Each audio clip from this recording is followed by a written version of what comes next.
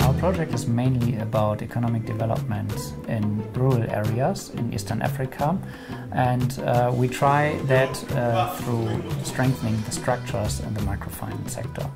Eh, amahugurwa atinyuka wigire munyarwandakazi uburyo nayumvisemo bwa mbere ni ni kopekiti yamenyesheje yuko hari amahugurwa. Ni ukuvuga ngo ba- bantoranyije mu badamu bazakurikirana amahugurwa atinyuka wigire munyarwandakazi.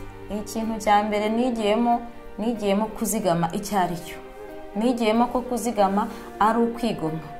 Ubu nkora ubucuruzi bw'imboga nkanabuhinga nabanje kubucuruza imboga nziranguye ariko ubu noneho nanjye nabonye kuzihingira ari byo byiza kurushaho. Icyo gihe ntabwo nari nzi kuzigama icyo gihe nta n'umushinga nagiraga nakoraga. As said, this is important for the private household, um, but of course also for entrepreneurs and for farmers to manage their small enterprise or their farm successfully. Hosiana is being served with the right products, with the loan products she needs for her business. Uh, that has been developed uh, specifically for women in Rwanda. That is one of our project interventions.